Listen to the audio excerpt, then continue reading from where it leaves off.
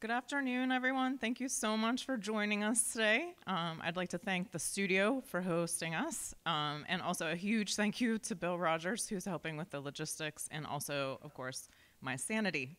Um, and I love all of our lunch and learns, but I have to be honest that this is actually the session that I am most excited about this semester, because um, you're going to get to learn about federal funding from two, what I suspect are going to be two very different perspectives, but they're both very successful. So it's really cool and exciting to have them here.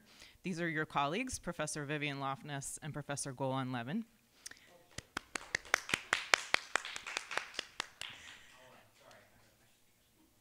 He's Golan is joining us at the front now. Um, so they will each share brief presentations on their experiences, and then we're going to open it up for questions, which I think is going to be a really um, valuable afternoon for you. So one logistical note is that there is a class in the studio after our event, and they need to turn the room over. So we'll want to make sure that we end on time, and then you can move your post-event convos to the Great Hall, perhaps, um, to allow for that to take place. Um, so first up, yes? Nica would like to say one thing. Just to say who we are and where we are. You're in the studio for Creative Inquiry. We have many um, grants and, and different ways to support your creative research, so please um, get in touch with me if you have any questions, but you know, check out our website. There's a link that says grants. You can apply for the Further Fund grant or the Steiner grant. Further Fund for research projects, Steiner for outside guests coming to you, but there's other things we can do. We can also host workshops and events and lectures and all kinds of things, and you can get on our email list and you can come to those things. Um, so that's where you are. Thank you. Thank you, Nica. Um, so our first speaker today will be Professor Vivian Loftness, and Vivian is the Paul Mellon Chair and University Professor at Carnegie Mellon University, former head of the Carnegie Mellon School of Architecture.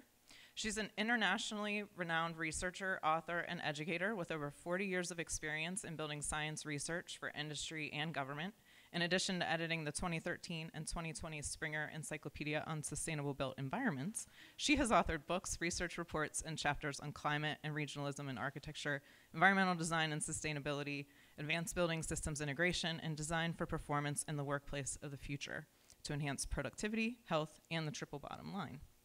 She served on over 25 board of directors, including the U.S. Environmental Protection Agency, the National Advisory Council for Environmental Policy and Technology, the DOE, Department of Energy, Federal Energy Management Advisory Committee, and the National American Institute of Architects.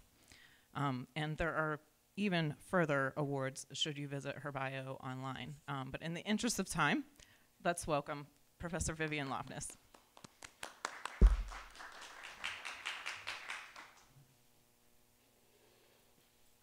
Okay, so uh, let me let me start by saying uh, I have a lot of years of experience, which is why I have a long CV. Hopefully, nobody's overly intimidated by people reading off your CV.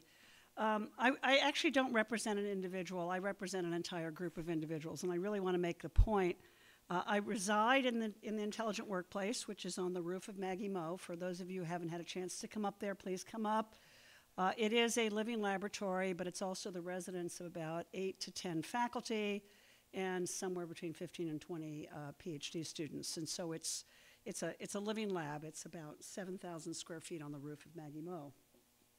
Um, we, have, we have a center, and there are only so many centers in the College of Fine Arts. Uh, this particular one's called the Center for Building Performance and Diagnostics and it is uh, it has been heavily federally federally funded and industry funded over about a um, almost a 40 year period. Uh, it also offers uh, master's and PhD degrees, and, and so we've been privileged to be able to work with graduate students on these research projects. I just want to emphasize I am not representing just the work of myself. Um, I'm part of a team at when in our really strong period, we were eight faculty, all dedicated to the area of high performance buildings and sustainability. We're down to five. We have two that might retire. We're going to be down to three. I'm a little panicked here about what happens to the area of expertise. Of course, sustainability has become so pervasive in the last decade that you know maybe there's a different type of, of infrastructure that could be built around the area of sustainability and high performance buildings. So I thought I would just give you a sampling of the projects that we've had federal funding for. The very first project that we got funded was the National Endowment for the Arts, which is a much more traditional funding stream for uh, the College of Fine Arts and, and even the School of Architecture. Uh, we, we, were, had the luxury of about $50,000 to study at museums around the world. It was a super project. We traveled, we spent time in museums, and we, the, the focus of the study was on architecture for art's sake, on how you actually design buildings for the art. And we, we actually developed a concept called vantage point design, where you're designing from different vantage points, not just from the, the uh, first time viewer or the repeat viewer, but from the perspective of the curator and the, and the director and the, um, and, and the, the actual artists themselves and what would they want as a physical environment. And we argued that there was not the perfect museum, but that every museum actually had elements that were far better suited to the display of art. And so we actually developed 50 criteria and said, look, you need to design floors and ceilings, and you need to design the layout of buildings and the amenities in museums differently, and you need to learn from a lot of museums, not just from one or two wonderful project, really fun. Um, and from there, we started, uh, and this a lot of this work is is the work of Volker Hartkopf, who's now an emeritus and was the director of the center. Um, Volker had funding from the USAID uh, and the Department of State uh, to actually work on indigenous um, low self-help housing uh, and um, small building construction techniques in in really stressed climate zones. And so um, the projects range from Bangladesh, where they were flood prone, using bamboo, and how do you do self help housing uh, in, a, in a flood prone environment, to earthquake resistant adobe construction in Peru. And so uh, he took teams of students, including Steve Lee, who's in one of these photographs, uh, to help build buildings um, in flood prone and earthquake uh, zone using indigenous uh, materials. And these, these projects, and I put the budgets here so you, you know, uh, it was two different projects, about 200,000 each, uh, to help support both the research and, and uh, methodologies. It, it, it, ended up with a series of publications as well as workshops with indigenous uh, teams learning how to build. Um, at one point in time, uh, the mayor of Pittsburgh, uh, Caligiuri, asked Volker, why in the hell are you doing work in Bangladesh and uh, in Peru uh, for populations that are uh, distressed when we have populations that are distressed in the United States? Why aren't you doing work right here in the city of Pittsburgh? And he said, well, we could. We could do infill housing in distressed neighborhoods, which is the South Oakland house on the left. Uh, they, the mayor came up with $50,000 and then uh, there were we, matching funds were key, which came uh, in in this case from the Department of Energy and Housing and Urban Development, which led to a bigger project in Manchester um, uh, on the north side to do not only a whole series of infill houses, but to take some old distressed buildings and turn them back into viable rental housing.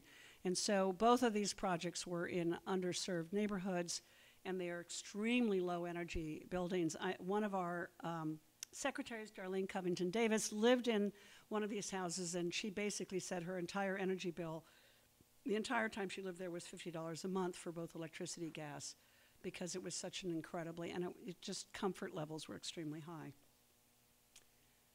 Um, then we, Volker came up with an idea that we were all wrapped up in, all eight faculty, uh, called the Advanced Building Systems Integration Consortium. And I do think that if you guys have work that you're thinking might be uh, collaborative across several disciplines, not just only in CFA, but disciplines across campus, that you may want to try to see if you can gather together multiple funders.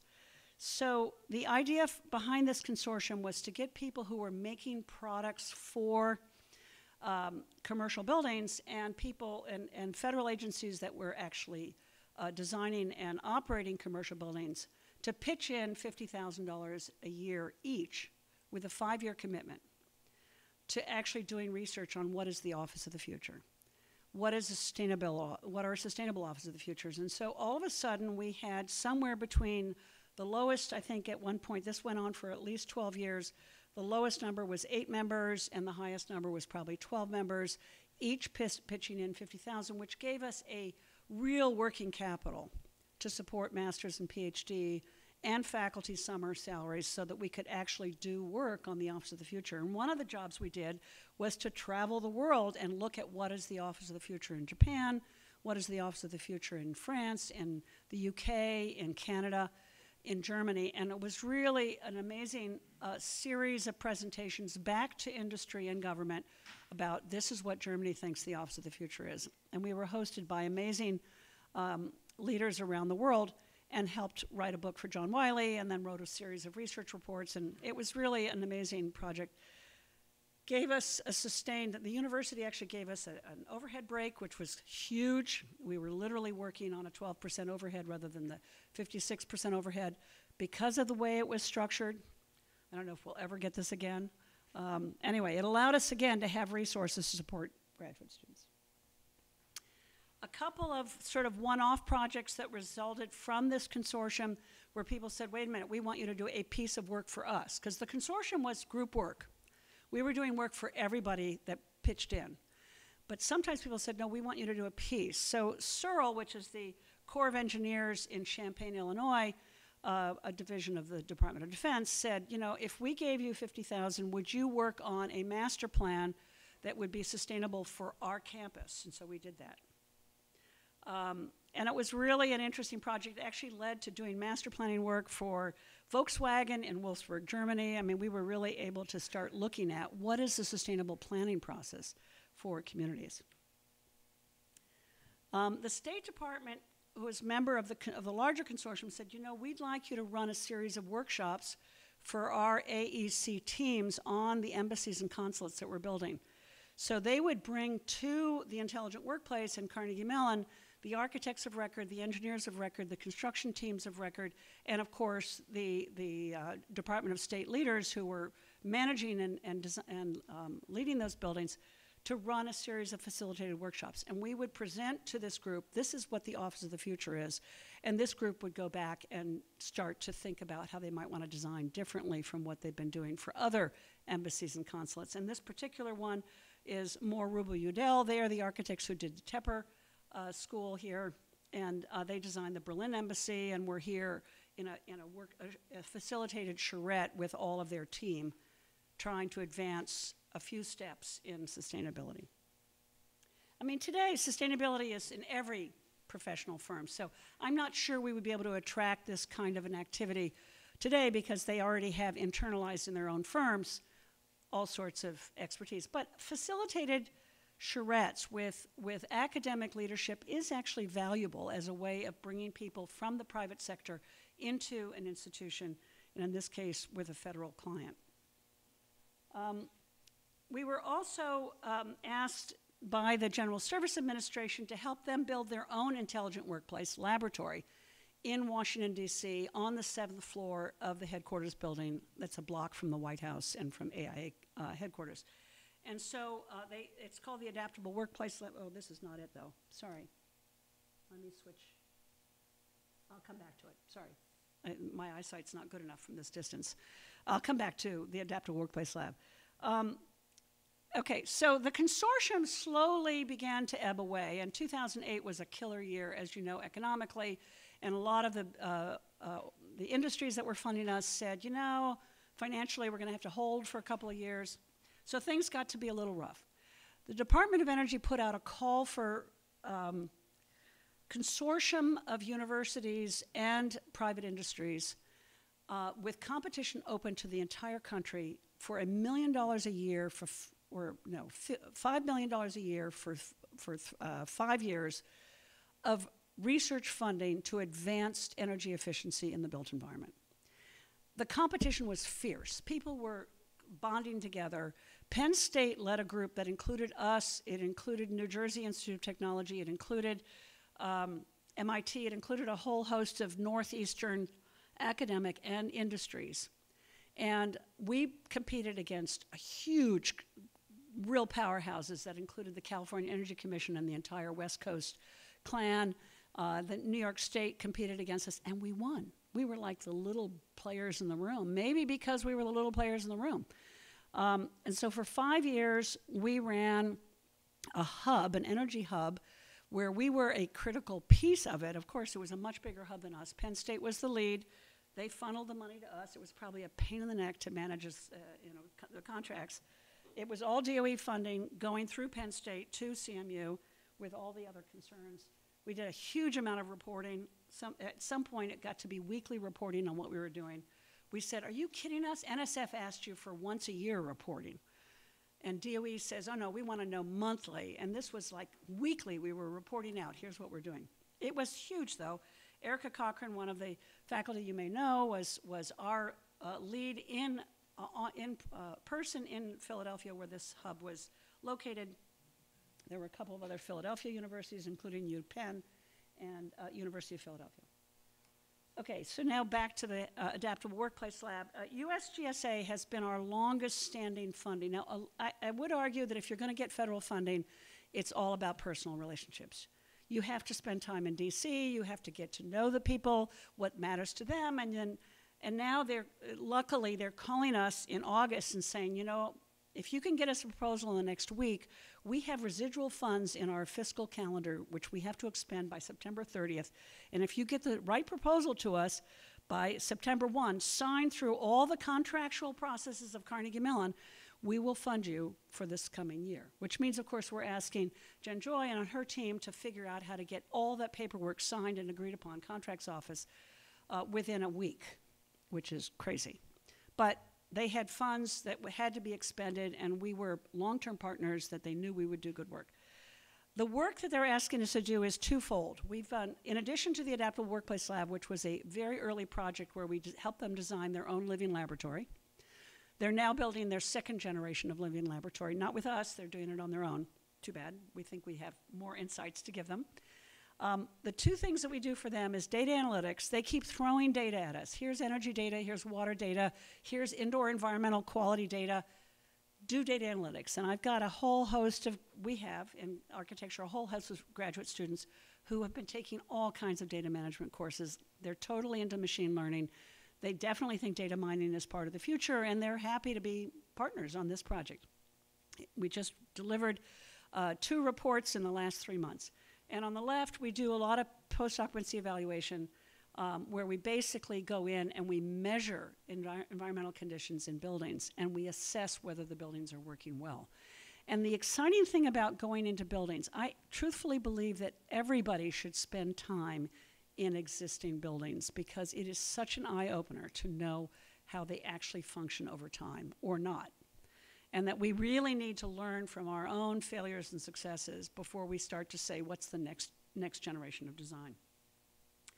And we've learned a lot about things that work and don't work. And truthfully, I fight for operable windows at Carnegie Mellon. On every project CMU builds, I'm fighting to keep operable windows. Uh, it's just killing me to have to ask for op- windows that open. But truthfully, if you want to have health and productivity and you want resiliency, you better have windows that open, right? So we've got a lot of field data that help us to make that case about how important it is. Okay, the last one, and I'm sorry if I'm cutting into Golan's time. Um, the last project is sort of, it's interesting at closing the loop.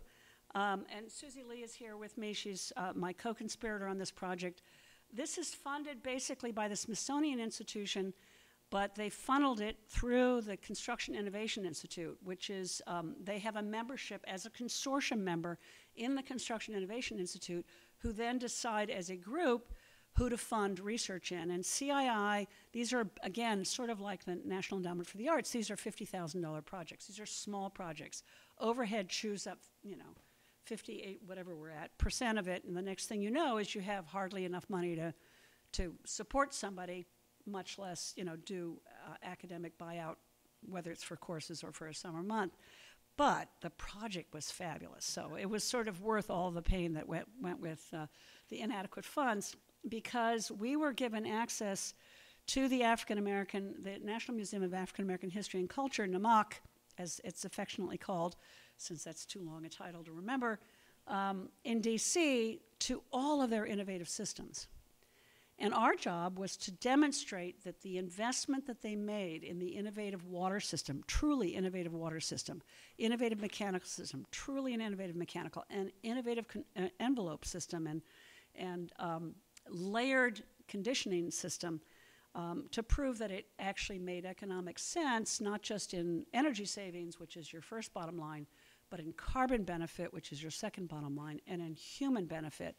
And actually, a lot of the human benefit was just the sheer number of hours. This museum has double the length of stay of any Smithsonian in their suite. People stay six hours. When they come, they don't leave. And they don't leave for a lot of really good reasons in terms of the exhibits and the layout of the building, but they also don't leave because the environment is very conducive to minimizing what's known as museum fatigue. So it's literally, I feel like we've closed the loop on that very first project we did with NEA many, many years ago. So that's sort of the stretch of federal research that we've had. And again, it's not me, it's a team of faculty working a hell of a lot of proposals. I would argue it takes 10 proposals to get one funded. But once you finally make the connection to lead federal agent, uh, you know, leaders in the federal system, all of a sudden it, it's not one in 10, it's one in two, right? We have a much better track record when we're working with the agencies and the leaders in those agencies. Now, I have a few that are retiring from GSA, so which sort of says, uh oh, we're going to f- have to fix, find the next generation. Anyway, that's it. Thanks, guys. Um, so I would now like to introduce Golan Levin, who is an artist, engineer, researcher. I'm a professor and of art. educator. That's good. All right, all right. Don't do a bio. Hi, everyone. It's nice to see you. Um, uh, we got slides? Okay, great. I'm, uh, as Jenn Joy mentioned, I'm a professor of art. I am formerly the director uh, for 14 years of the Studio for Creative Inquiry that you're in, uh, and it's my incredible pleasure to see that the studio is doing so incredibly well under the directorship of uh, Nica Ross and Harrison Apple and their wonderful staff like Bill and Carol and Linda. Um, this is an amazing resource here at the studio for, uh, at the, at CMU to help, especially faculty in the CFA, um, and whether it's just you know getting a little advice or potentially uh, helping you actually with the logistics of your research. Uh, the studio is uh, an important part of the uh, research apparatus of the college. Uh, the other part, of course, is Jenn Joy's office, um, which sort of handles all these granty grant things. And um, I'm here today to talk to you about. Uh, well, Jenn Joy asked me, you know, Golan, you have so much experience getting federal money, and I was like, I don't have any wisdom to offer. Uh, and Jenn Joy was, no, no, no, no, really, you've gotten so many grants. Let's, you know, share your, your wisdom. And I'm like, okay, what can I actually share that's maybe useful? Um, so. Uh, First of all, I, I actually think that I'm going to present a lot of fairly obvious in- information. So, just to summarize my talk in a, in a single sentence do good work, speak with grants officers, stick to the character limits, and fight the bureaucracy at CMU. That's kind of like, you know, most of it. Um, uh, there are some wrinkles to getting support uh, for your work, though. Um, and uh, my main experience doing this with federal funds, um, I got a $12,500 grant from the NEA to help realize this book, which is a, a book uh, for um, new media arts educators, sort of a, sort of a teacher's guide to teaching new media art. And uh, I, I got in collaboration with the uh, collaboration and, support from the uh, Carnegie Museum of, of, of Art down the street, uh, a 70 some odd thousand dollar grant from the National Endowment for Humanities to make the interactive project you saw by the door, which is a sort of inter- uh, interactive visualization using a lot of machine learning techniques of the life's work of Charles Teenie Harris. It's this, that big touchscreen by the door, which um, is a browser for some 80,000 images that have been analyzed by our machine learning techniques into sort of some kind of semblance of order. Um, so this is just actually a pretty quick presentation of what I think is a sort of hopefully obvious checklist of stuff to do. But I'll mostly I'm going to kind of make some commentary on it as I go. Uh, so first of all, some general mechanics. Talking Bill Rogers. That's the word general underneath the word there. Uh, I don't know what that. What's that doing there? Yeah, I know, but okay, it's just right. Uh, it's just this overlay graphics is, is I wasn't expecting it. Okay. Uh, so here's seven points, right? Research the agency's priorities. If you're going to apply for money, you know, look at what they're what they're interested in supporting. They have websites. They are really clear about um, what they're trying to do. Uh, they're they're super clear about what they what they're looking for. So um, make sure that your proposal aligns with their goals. Uh, understand the application process. Um, this is something where you can't talk enough to Jenn Joy. Jenn Joy is like, oh no, but but I mean, the, the application process has a lot of wrinkles to it in terms of like some back and forth, and uh, it's actually particularly arcane within Carnegie Mellon. Uh, uh, one of my other points is that in general, the feds aren't the problem. They are paid to give money to you. Um, that's what they exist to do. They really want, and they have to give away the money. So they, they, you know, the problem is actually us, as as I'll make clear, us Carnegie Mellon, and I'm, I'm, I, I mean sort of outside of this room, outside of this, outside of this building, uh, but it's definitely us. Um, every time it's gotten really messed up, it's because of it's because of us. Uh, develop a strong proposal, like do good work, you know. Uh, and make sure that you are you're all super bright. Y'all are you know on your well on your way to getting tenure if you don't have tenure already. And you know you should articulate your project's goals methods and expected outcomes. Like how to do good work. Everything you tell your students. Just like do good work. Include a realistic budget. Um, actually this is super important. Don't overpromise right? Like it's actually good to kind of um, scope things well. Uh, build relationships with program officers. Vivian mentioned this and i think it's uh, it's really important. Um, in, in both of the cases that I was mentioning, this NEA grant and the NEH grant, um, you know, e- either I already had relationships with uh, the grants officers or developed them in the course of the project. So find out who is the grants officer and either speak with them directly or with their people.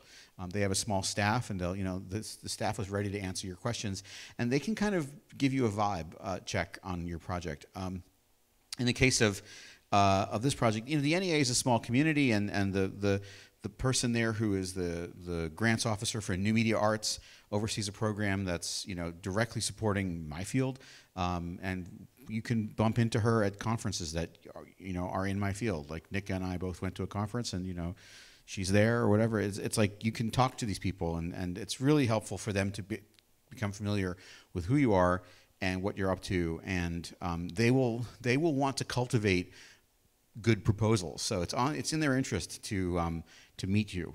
Um, uh, seek feedback from your peers. It's really important to get another pair of eyes on your project, so please depend on each other. And, you know, be persistent. Um, it does take a few tries sometimes. Um, so, review criteria. Uh, the organizations are really clear about what they're looking for. Uh, in the case of the NEA, which is mostly what I'm going to talk about right now, um, you know, artistic excellence, public impact, feasibility, and fourth, but sort of implicitly, not explicitly stated, is good sense. Uh, so I'll, I'll kind of get. I'm just going to kind of quickly sort of tack off like what are these, right? So artistic excellence, like demonstrate artistic excellence, like they, you know, want to make sure that they're supporting good work. Uh, be clear about the artistic merit of your project or creative merit or how it contributes to the development of your field. Be sure to clearly explain how your project will demonstrate artistic excellence uh, and advance the field. Uh, show a track record of success. You have to, you know, do your portfolio and your resume.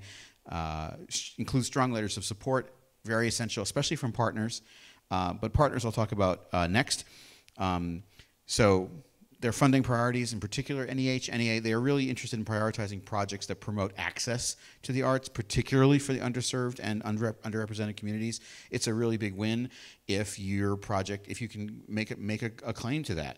Um, in the case of uh, of the Teenie Harris project, it's more clear. You know, you're working with a museum that has an archive of African American photography from the 20th century. It's like talking about Jim Crow and talking about uh, the civil rights era, and it's for a public, you know, um, facility. It's really going to encounter the public. It's quite clear. In the case of uh, of this community, there hadn't been a book for this particular audience before, and, and the, this audience is teaching to programming to new audiences themselves. Uh, you know, not in computer science programs typically. So find a way to either articulate or to make sure you sort of have a good understanding of uh, how your project reaches the public. If, it, if, it's, if it's really arcane and not reaching the public, it's going to be a harder sell. Um, they do support some really, you know, um, uh, lofty work, uh, but it, it, it's, it, they really want to see it reach a public. Uh, yeah, I think that's the second one. And then uh, work with partners is really, really important. You know, um, someone here mentioned they were uh, working with uh, with public schools earlier, or it was Susan Raponi, uh, working with, with public schools. We worked with the museum down the street. You know, it, Vivian's worked here in Pittsburgh with the city's office and others. You know, it, it the mayor's office rather. It's um, it's really great to have partners. They having partners bolsters the strength of your of your proposal. Um, feasibility, have a realistic budget, demonstrate sufficient planning and preparation. You know, demonstrate sound management and good sense. This is like you know the character limits are actually really real. So I know this seems really obvious, but like like a lot of the grants officer told me a lot of proposals get get canned uh, because people just don't fill out things out think, fill things out correctly. Um, they do have um, workshops and webinars that are uh, worth it worth uh, attending if you get on their mailing lists or or you know these get on these folks mailing lists like the studio or Jenn Joy these folks will have webinars where you can kind of attend a zoom call and uh, not only hear what the priorities are for their funding for that year but also get um, get to actually see in the zoom the people write down their names you know maybe speak speak to them in the q&a or contact them afterwards. Um, and then that's where you can find out the program staff to contact them. Um, i'm reminded that uh, oh, what was i going to say? Um, oh something I, I, forgot to say earlier in terms of um, sort of researching the agency's priorities. One of the best things you can do um, in terms of uh, getting support here. Uh, look at the lists of people that they support every year. They publish them. I was looking at the list of uh, grantees from the specific programs that uh, I had applied to. And uh, actually, so, so, that's the sort of end of my, my slide presentation, but the, some, now some, just some quick anecdotes. Um, the NEA would publish a list of who their grantees were. And I had applied for media arts. And uh, so I was like trying to, you know, do some kind of interactive media art involving computers and programming and computation. And I looked at the list of the people, I, I got rejected. And I saw, I was like, oh, I got rejected. Man, I thought I had a pretty good proposal. Like, what's going on there? Um, and uh, I looked at the list of people that they funded, and at the time, in 2014, 2013, what they called media arts was specifically film festivals. It was like 97% film festivals and one project restoring a Nam June Paik project. Like, that was like, that, that's what it was. It was like, oh, you think media arts is like 20th century media arts. Where's the support for 21st century media arts? There wasn't. They actually said, we think you'd have a better chance if you reapplied and sent this to the artist communities uh, uh, uh, program rather than the media arts program. I was like, okay, and actually I did, and ended up getting a grant through me through through the the artist communities program, which is not something I would have thought. I would have thought that I should be naturally funded within media arts. I wrote a public letter. I was like, y'all should you know have com computers at least partially represented in media arts. And when the new program director was hired. Uh, she ended up seeing my letter, contacting me out of the blue, saying, I saw your letter, your public letter, about how the NEA should be including things like computers in the topic and category called media arts. And I was like, yeah she's like i really agree i was like that's great and you know that's how we started a relationship is is is um you you you know you sort but you have to know what the priorities were. And i i was thinking media arts was something that involved computers you know fuck me. Like no not not at the time. Um, other anecdotes. Uh, the money is small right? This was a, a twelve and a half thousand dollar grant to do this. Um, how did this get complicated? You know it should seem obvious that a professor who wants to create a book uh, should get support uh, both from external funders, if it's, you know, if it's worthy, and uh, internally uh, from the university. Uh, the university made this so complicated, you know. Um, uh, first of all, just some general stuff. You have to have a match if you're applying to the NEA or if you're applying to the NEH. You have to find half the money from somewhere else. They want to they want to see half the money uh, from some other source. So that could be, for example, you know, the Dean's Run or the Dean's Fund here for fun, for the Fund for Research and Creativity. It could be potentially a FERF grant from the Studio for Creative Inquiry. It could be um, other grants that you might arrange from local foundations or from uh, from trustees who like your work or whatever it might be. But you have to find half the, half the funds. Um, so it, it, that's sort of like a lot of fun that you don't get to have because you are you're like I how am I supposed to find half the money? But the NEA wants to see that and the NEH as well.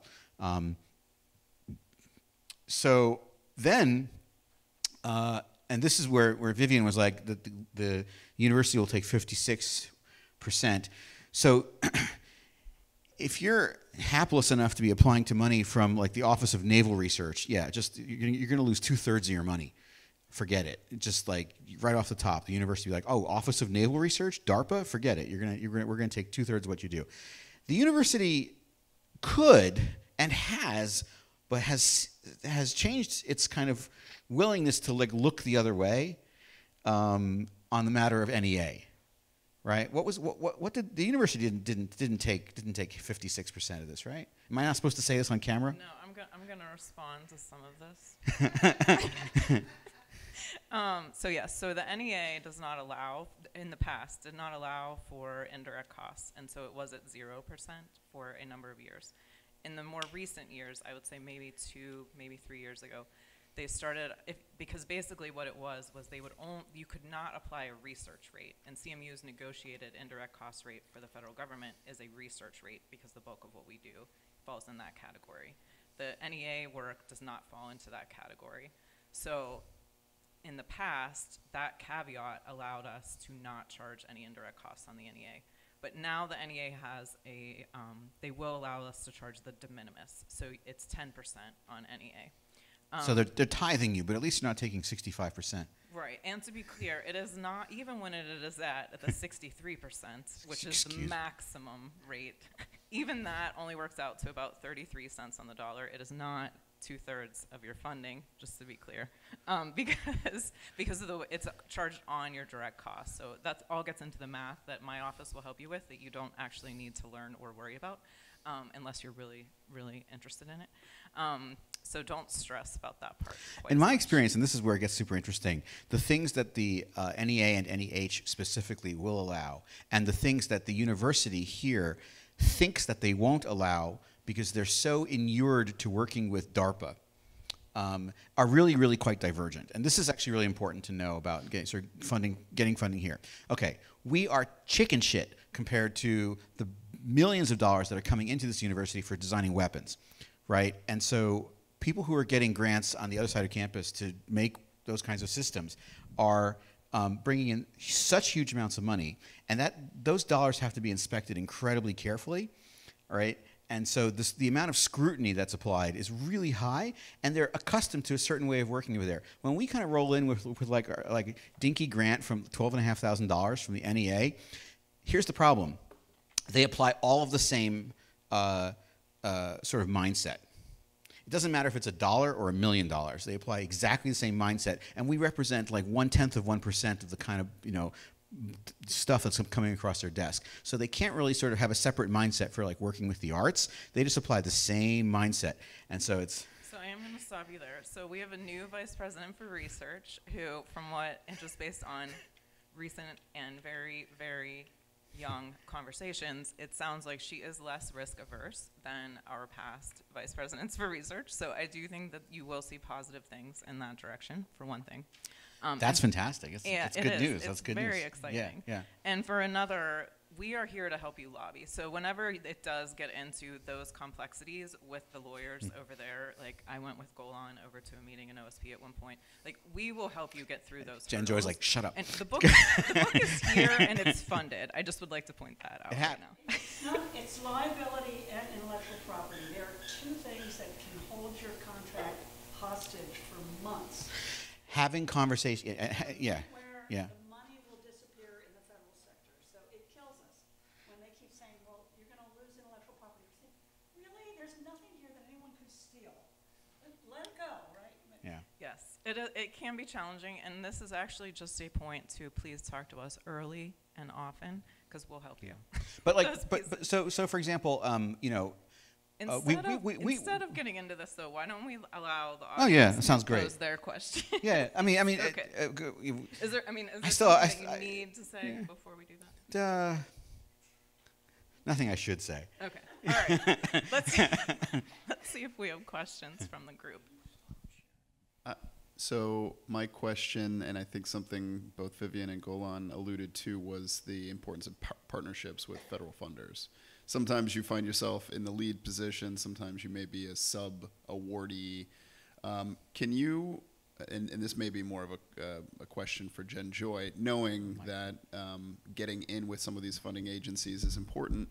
Some faculty members here might find an easier way of getting in by attaching themselves as part of a group project outside of CMU or et cetera, et cetera, with, with a working group, uh, and then pursuing funding, independent funding down the line. But is there is there anything that anyone who might be interested in working as part of a group on a federal grant should know as a sub awardee that would be different than taking the lead? Is there I mean, I think the most important thing is to know that when you're a sub, it's essentially the same exact process. So it is just as necessary to work with our office and for us to help you with your budgets, and because they will require the same exact documentation. So we, when we have sub awards on our awards, the sub essentially applies for a grant almost to us. So when Vivian is working with groups that are outside of CMU or some of our others are, they, the sub fills out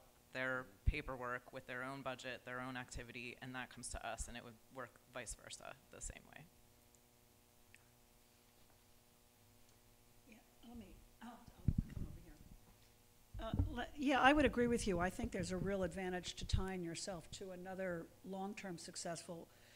If I were starting out again, right, new now, I would probably, in the area that I'm focusing on, probably try to see if I could find people in civil engineering that are looking at high performance, you know, innovation and control systems and building, you know, um, infrastructures and things that are uh, areas of expertise, or even in computer science, because they have an entree. I have to say, if you, we have had very little success with the National Science Foundation.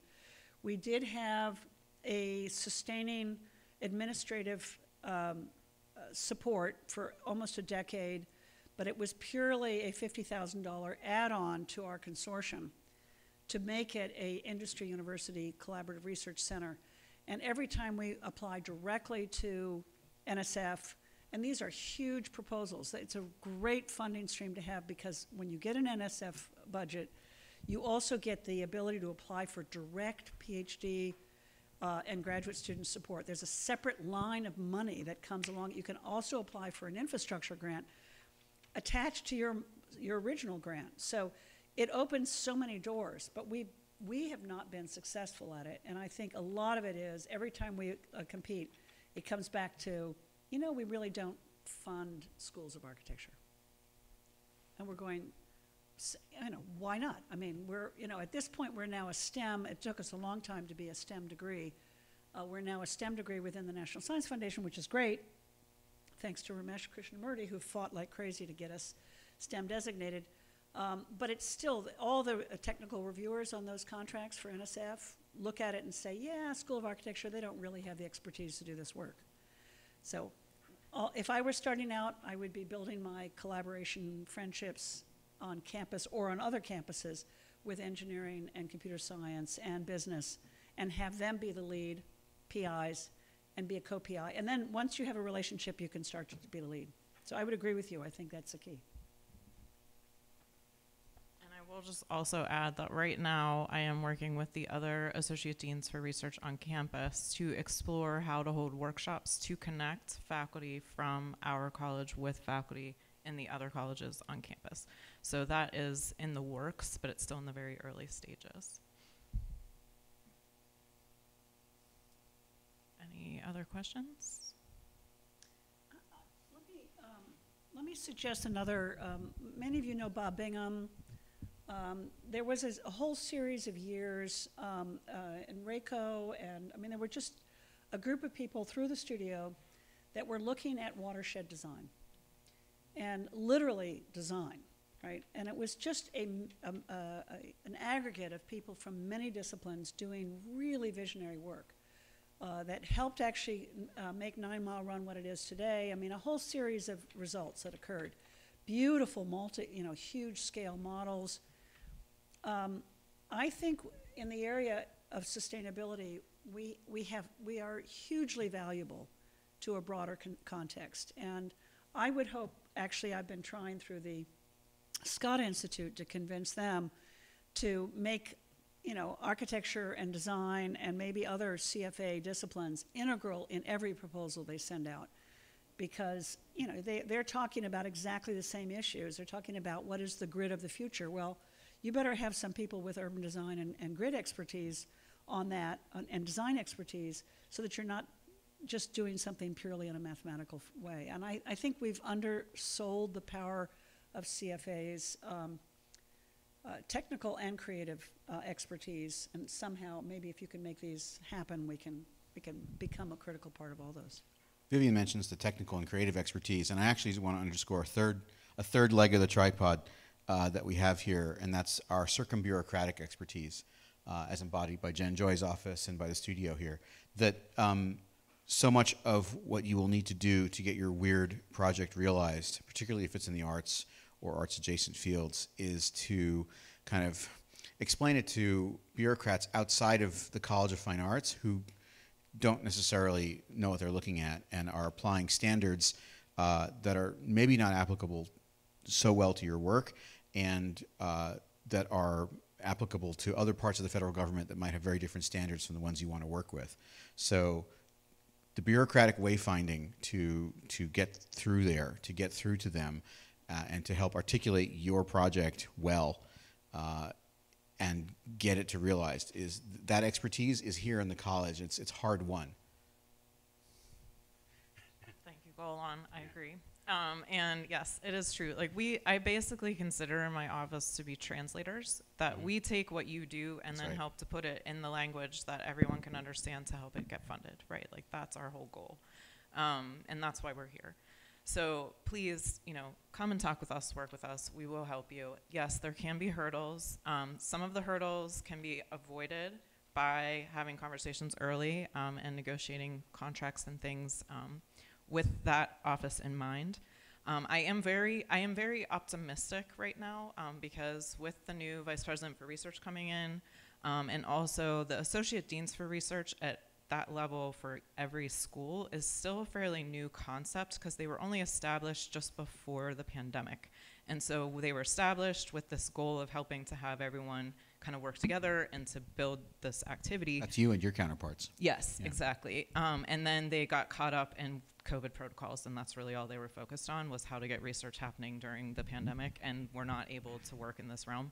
So we are. It is only really now that we're actually starting to work on that. So I do think there's going to be a lot. You're going to see an uptick in how that activity happens and how we can.